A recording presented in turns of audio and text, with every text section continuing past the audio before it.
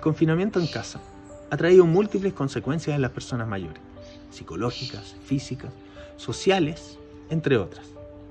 Desde el punto de vista físico, las personas han dejado de hacer las actividades que generalmente hacían, y esto ha llevado como consecuencia que disminuya la fuerza.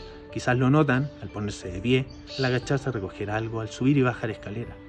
De la mano del equilibrio, frente a estas actividades quizás han sentido inestabilidad o han necesitado, frente a una pérdida del equilibrio, afirmarse. También la resistencia. Ustedes quizás se han cansado ahora que hacen estas actividades, cosas que no ocurrían antes.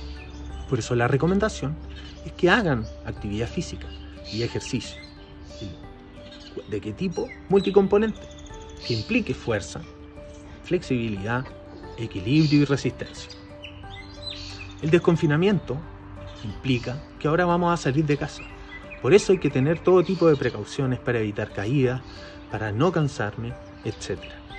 Por ello, cuando salgan a caminar, comiencen con distancias cortas, medianas, y esto lo vayan midiendo de acuerdo a cómo se van sintiendo. Si es necesario cuando salen a caminar hacer descansos, háganlo. Por otro lado, en días de sol, utilicen protector solar y lleven hidratación. Ojalá también una ayuda técnica si es que antes la requerían, ¿sí? o bien, aún más necesario, ir acompañado por alguien. Por supuesto que esto va a depender de la diversidad de capacidades funcionales que tienen las personas mayores. Las personas mayores son diferentes en este aspecto.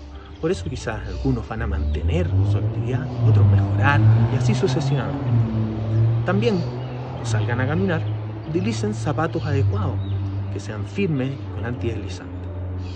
Tomando todo tipo de precauciones y estas que les estoy dando, este desconfinamiento va a ser seguro y vamos a estar fomentando un envejecimiento saludable. Muchas gracias.